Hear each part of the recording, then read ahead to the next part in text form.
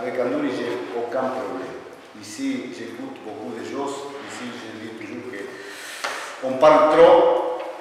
Et des fois, on commence à, changer les mots.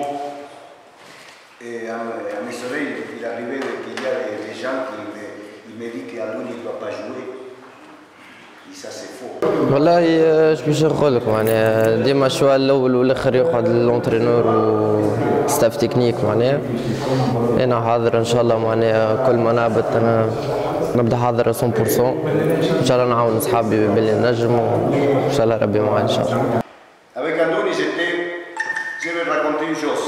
Premier jour que j'étais, qu'ils me sont dit, euh, qu'ils me sont présentés les joueurs, je l'ai dit à Andoni, enchanté, et après je l'ai dit, sans